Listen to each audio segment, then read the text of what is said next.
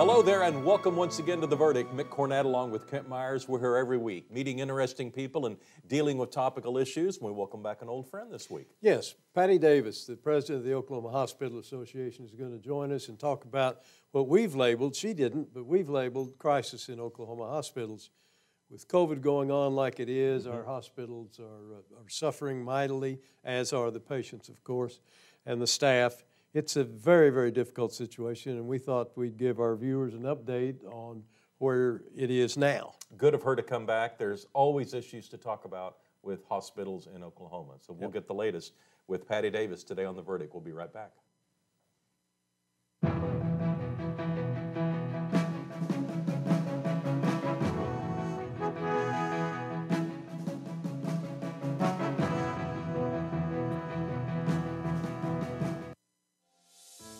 Right now, six feet can feel like a long ways away.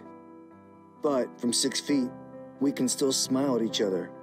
From our doorways and our stairways, from opposite sides of the street and opposite sides of the country. Through fear and frustrations, we can remind each other that we are still here for each other. Because we can still smile at each other. And we're not going anywhere. There's a lot of just emotions that you go through when the doctor tells you that your daughter has leukemia. And your first question is, well, how long do we have? When I found out I had leukemia, I don't really remember what the day was like. I just remember that part just because it was scary. I was just worried, and I was worried about my parents too. I think Rachel's story is very inspiring. She had a lot happen to her kind of at a pivotal point in her life, preteen, and she had to grow up really fast, and she took it all in stride. She never asked why this happened to me. She's always been strong through everything. When I grow up, I want to be a pediatrician, just helping other kids. It'll mean a lot to me. And that's Rachel's heart. She wants to help others. She wants to encourage them. My name is Rachel Scott, and I am Chickasaw. See more stories about the Chickasaw people at profilesofanation.com.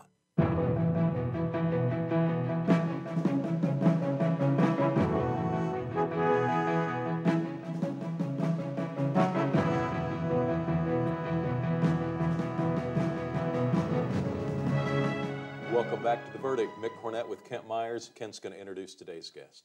It is always a pleasure to have uh, Patti Davis join us on the show and tell us what's going on with uh, herself and the Oklahoma Hospital Association. Uh, Patti is president of the Oklahoma Hospital Association, has been since 2018. She originally joined the, the association uh, 17, 18 years ago and stayed there about that length of time. Then uh, joined OU Medicine for two or three years and in 2018 was selected as president of the Hospital Association again. Uh, she did her undergraduate work at the University of Oklahoma in political science, and she also is a graduate of the Masters of Legal Studies program in healthcare law. Uh, she um, has been on our show two or three times, and we're trying to decide how many, uh, but several. And she's always a lot of good information, sometimes hard to hear, but always good information. And Patti, welcome back. Sure glad to have you. Thank you, and thanks for inviting me back. Sure. How have you been? What's the state of hospitals in the state? Well, I know that we're all reading every day different news alerts, literally citing the numbers of COVID. And that's where the association is spending the bulk of our time or trying to help our hospitals manage through this latest surge. So, right now, our hospitals are very full. Uh, we watch numbers daily, and I know we're taping this uh, a few days before this will air. So, literally, this situation changes in Oklahoma every single day, and we watch for trend lines. And we watch for trend lines over several days to try to uh, normalize what we're seeing. But clearly, hospitalizations are still on the rise, mm-hmm. and we are also watching what's going on in the pediatric space since school has started back space is an issue, beds are an issue, staffing is an issue, but the federal government's putting a lot of money into, into that side of it. I assume that that's very helpful, if not uh, solving the financial aspect of it. Well, yes. In the first round of surge, there were a number of funding packages that, that were very, very helpful.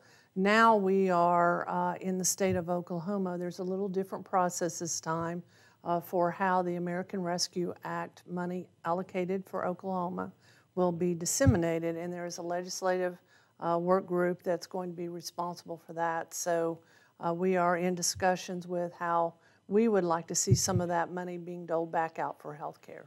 Uh, Patti, I know you are president of the Hospital Association. How many member hospitals do you have? We have 117 hospital members. And they're spread throughout the state, I it? Absolutely, all over Oklahoma, and we're talking from the smallest critical access hospitals to our large systems. We also have tribal facilities uh, that are members. Are you seeing any hospitals in particular geographic areas that are being harder hit than some of the remainder of the hospitals? Well, just like we started watching what was going on in uh, Missouri and Arkansas, started moving yeah. east into Oklahoma, that has been the trend because our eastern eastern hospitals initially started feeling the brunt. Likewise, the smaller hospitals would transfer into Tulsa. So this is just spread to the west. And clearly, as of the data last night that I looked at, we have Tulsa leading with the most COVID hospitalizations, followed not surprisingly by Oklahoma City. But now we were surprised to see the Southwest numbers uh, for COVID surpass Northeast numbers. So we look at this by regions and we try to analyze that and, and try to help as best we can. Can you identify any particular events uh, that might have been super spreader events that causes more of a problem for you than there's any, otherwise? any number of those. And just like in the first search, what we learned, when we see an increase in positivity, it's about two weeks and then we start seeing an increase in hospitalization. Unfortunately, about two weeks after that, we'll start seeing an increase in deaths. And the difference in this surge from the last surge is this appears to be the pandemic of the unvaccinated. Our hospitals are reporting that their admissions are younger uh, they are also uh, patients that haven't been vaccinated. And many times, these younger folks are people that are otherwise healthy, have no other underlying condition, that find themselves getting sick very rapidly and needing the services of a hospital. So, are stays shorter? Is there uh, are the, is this current virus less deadly? Where, where have we moved in the last year? Well, this virus is certainly more, way more contagious, mm-hmm. right? And you know, with a younger population, uh, some may be able to bear it without any significant need for hospital care, but others are not. Now, one good, really good thing that's available that the public is probably not as aware as they need to be is in the first round, monoclonal antibodies were available for people with certain conditions to be able to head off a more serious con- condition. You might remember President Trump got those, and those are available in Oklahoma. So I would urge viewers that find themselves with a COVID diagnosis to talk to their physician about whether or not they would be a candidate for monoclonal antibodies because we think it could prevent further hospitalization or even potentially um, death. Mm-hmm. A hospital fills up, what happens next? Do they start trying to move a patient to a different hospital, or they try to to uh, have people go home? What what what are the options? Oh, there are a lot of options, and we have hospital surge plans that they all developed last year. We have hospitals that are already working in their surge plans. The first thing they try to do is internally they try to manage. So for a larger hospital, that may be well, we're going to cut down this this unit for a particular thing and mm-hmm. repurpose that staff to take care of COVID or medical surgical Some sort patients. of elective, elective surgeries might be rescheduled? Yes, we have, we have hospitals right now that have been doing that for a while, determining what can wait safely versus mm-hmm. what's absolutely urgent, emergent, that has to be dealt with. And unfortunately, what is a little different than last time, last time when the state shut down, a lot of people took this as a pass not to go to their doctor, not to take their medicine, not to take care of themselves. So our hospitals told us when this one started rolling in that their beds were already full of patients that had neglected conditions and got very ill. So they're patients that very much need to be in the hospital. Then we start seeing rising COVID numbers. So um, all of our hospitals are full ICU beds, are at an absolute premium. Yesterday morning when I got to work, there was one ICU bed available in the state. By the time I, I went to bed, everyone was still scrambling. So there are patients holding. Uh, I don't want to be an alarmist, but this is a significant issue, and this is not just an issue for patients with COVID. This affects if you should have a heart attack or a stroke. You know, your care um, is going to possibly be delayed just because we are, we are having waits in our emergency room. What are the alternative, reasonable alternatives to an ICU bed if, if typically the diagnosis would be that the patient needs ICU treatment, but there are no ICU beds available? What is a reasonable alternative if there is one? Well, the reasonable alternative is to prevent the need for an ICU bed is get the vaccine. Hmm. And then we go back to all the things that we knew before about watch where you go, be socially distanced from others, wear masks do hand washing, all the preventive things that we all know we're supposed to do. But quite simply, in terms of an intensive care bed, uh, we very much appreciate the health department through emergency rules made it possible for hospitals to have flexibility. So right now we know we have hospitals using their um, post-acute uh, units where they normally would bring someone out of surgery. Those are equipped with medical gases. We know hospitals are using those for intensive care level beds. Uh, but you know, intensive care level beds mean that they come with a lot of extra equipment and a lot of technology, as well as a highly trained professional caregiver at the bedside. And I have to absolutely say, our caregivers are fatigued, whether it's physicians, it's nurses, it's respiratory therapists, and all the people that support them.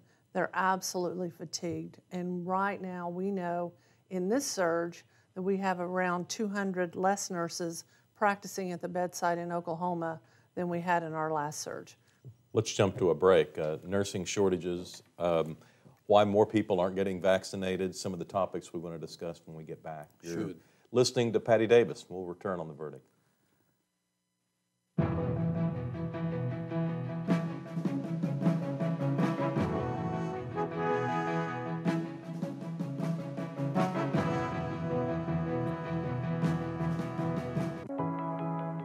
Hero office at the University of Central Oklahoma, it is a one-stop shop for veterans when they're trying to get their education. I call it my encore job. I get to take care of veterans. We help them transition. I was that guy that transitioned after 24 years, and in the end, GI Bill is a benefit that those soldiers, sailors, airmen, marine earned. It was the thing that made us the greatest country in the world coming out of World War II, and it will continue to do the same thing for this future generation of service members.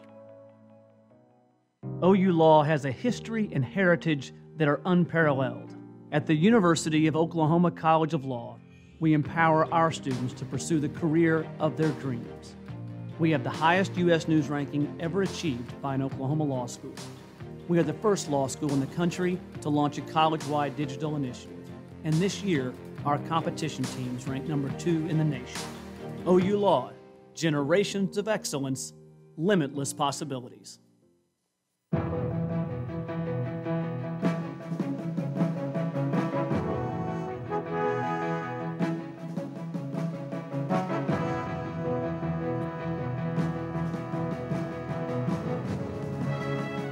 We're back. Our guest is Patti Davis uh, with the Oklahoma Hospital Association. Uh, Patti, when we took a break, uh, we were uh, talking, you were talking about the staffing uh, folks being worn out, exhausted, uh, very stressed, obviously. and you also said that you're dealing with the possibility of 200 fewer nurses available now than were available in the first surge. What accounts for that diminution of 200 nurses?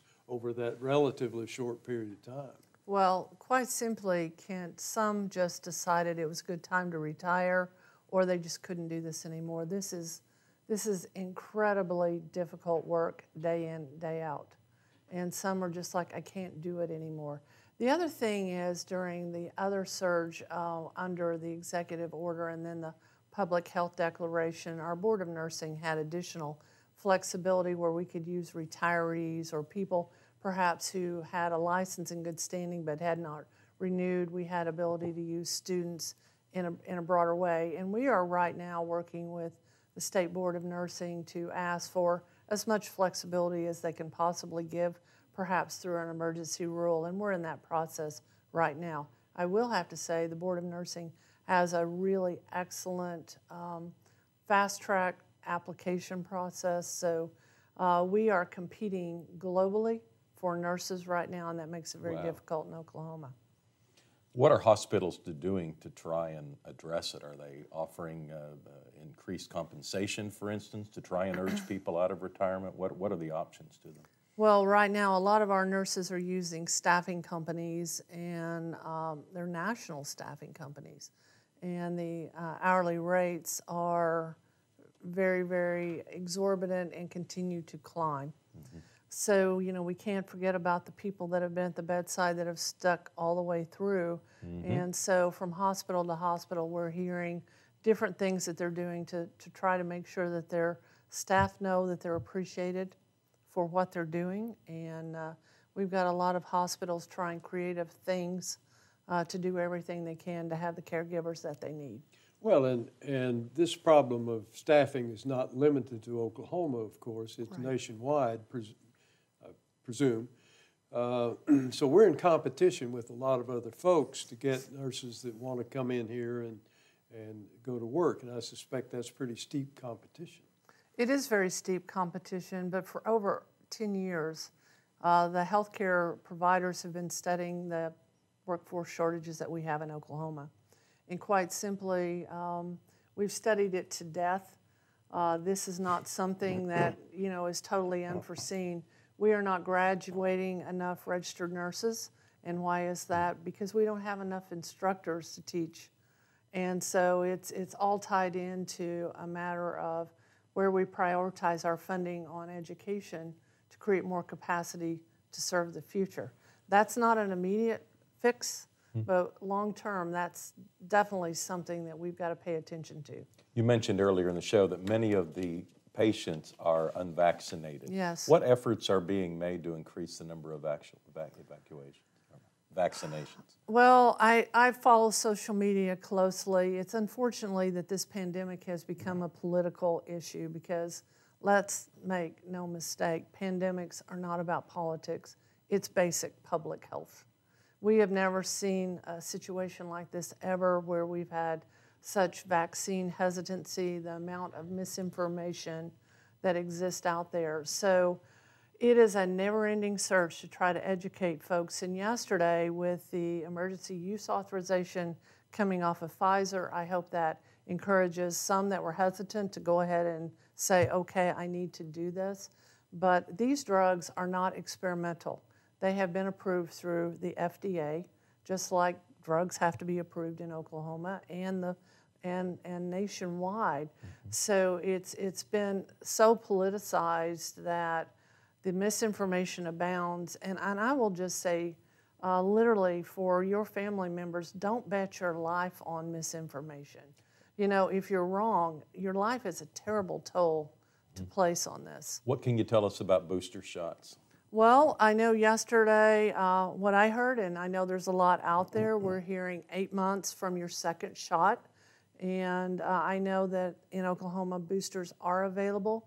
Uh, the patients that have particularly uh, conditions like autoimmune, uh, cancer treatment, there are a list that you should should ask your doctor, is it time for me to get it? Because many people uh, that have those pre-existing conditions may be eligible to go ahead and receive those early.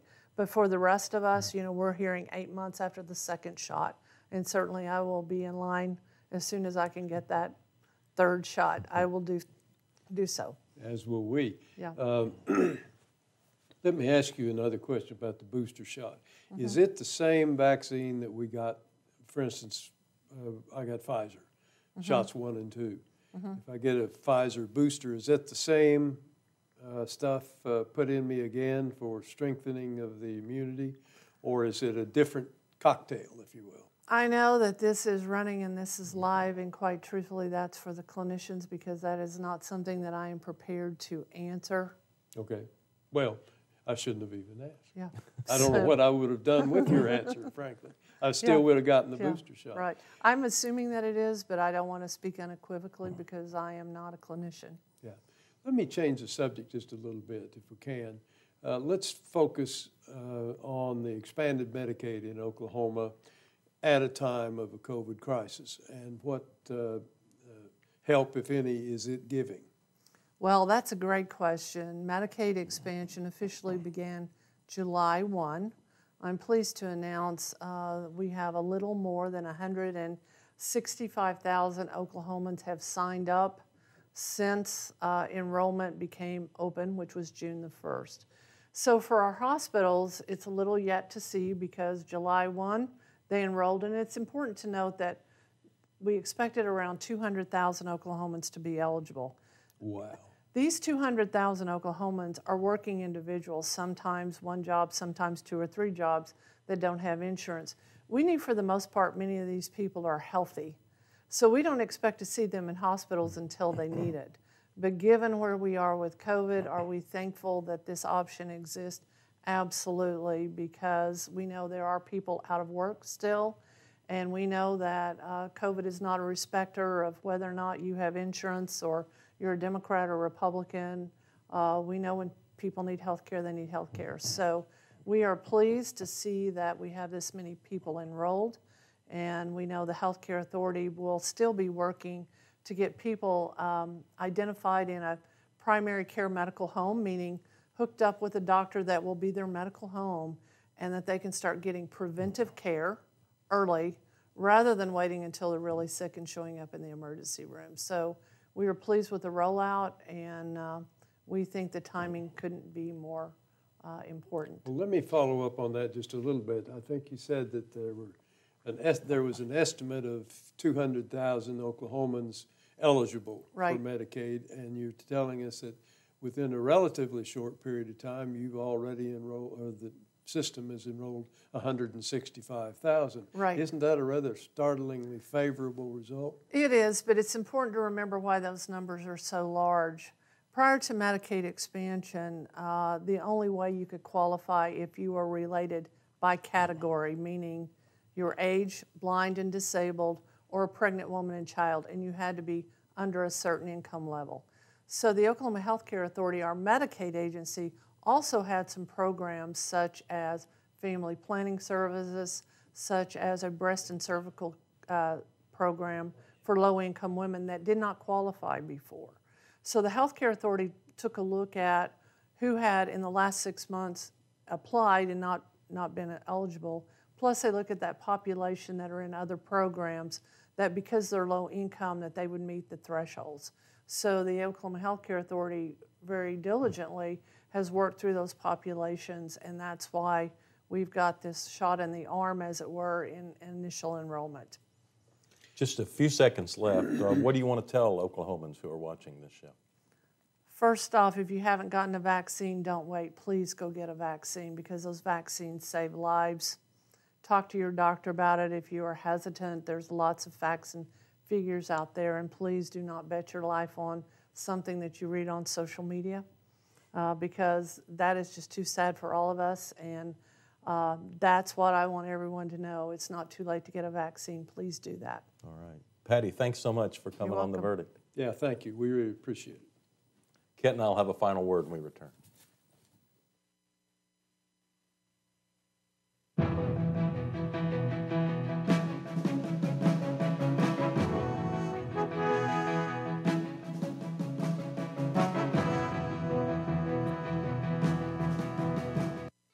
It used to be okay in teachers' lounges. It used to be okay in maternity wards. It was okay in sporting arenas, college campuses, and office spaces. But now that we understand the deadly dangers of secondhand smoke, that's not okay anymore. So, why is it okay that thousands of employees are exposed to it every day at work? Bottom line, it's not okay. Let's protect hardworking Oklahomans. Join the fight at stopswithme.com. All children deserve a life of hope and love, but sometimes they experience a life of pain, neglect, and abuse. When that happens, each child deserves all the quality assistance and representation that can be offered in our legal system. For more information, call 23 Child. Oklahoma Lawyers for Children. helping to bring hope and love back to the lives of abused children. You will always be mom and dad to me. I think for us, once we got started and we began to see the tremendous need um, just within our state, um, it really was just a calling for us. The blessings far outweigh mm-hmm. any obstacles that we've faced.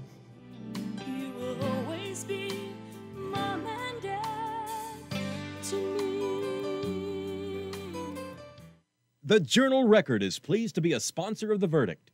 The Journal Record, since 1903, the best source of Oklahoma business news and legal information.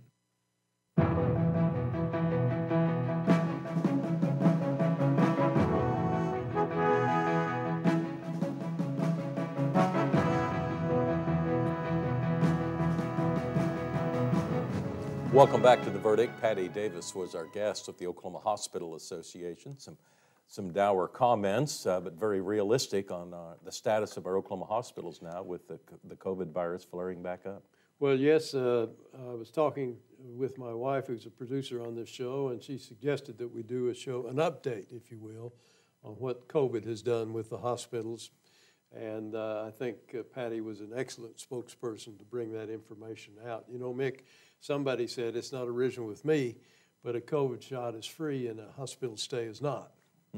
And uh, the uh, if you get the shot, you may not have to have the hospital stay. So many of the things we're going through right now are familiar. I mean, we have been, you know, a, a shortage of hospitals around the state for a number of years, a shortage of nurses. That's not a new topic, but you can imagine the stress that's been placed on our caregivers over the last few months, a uh, year and a half now. And it's, it's, uh, it's very understandable that there are fewer people at this stage wanting to get into the industry or wanting to stay in the industry yeah. if they have the opportunity to retire. Yeah, it's startling that we lost 200 nurses from COVID surge 1 to COVID surge 2. We have some website information. Let's take a look. You can get more information from Patti and her work at OKOHA. That's OKOHA.com. And we have a website, theverdict.tv. So log on, tell us about a guest you'd like to see or a topic you'd like to see us discuss, and we'll do our best to bring it to you. For Kent Meyers, I'm Mick Cornett. We'll see you next week right here on another edition of The Verdict.